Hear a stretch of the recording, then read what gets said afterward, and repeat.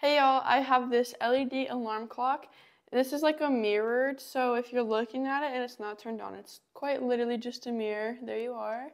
And it can have AAA batteries to be powered wirelessly, but in case you do not have it, it comes with this power cord, which you simply plug it in the back here, plug it into a power source. There you go, now it actually looks like an alarm clock. You have this nice LED light. It says it's 12 a.m but you can of course this is the brightness temperature and then to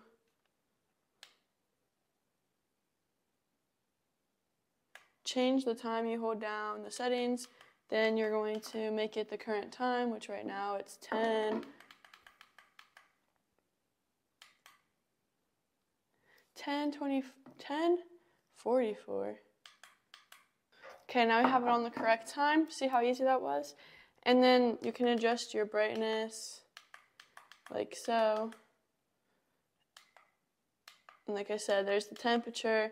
And then to set your alarm, you have two options for alarm one and alarm two, so you can set that.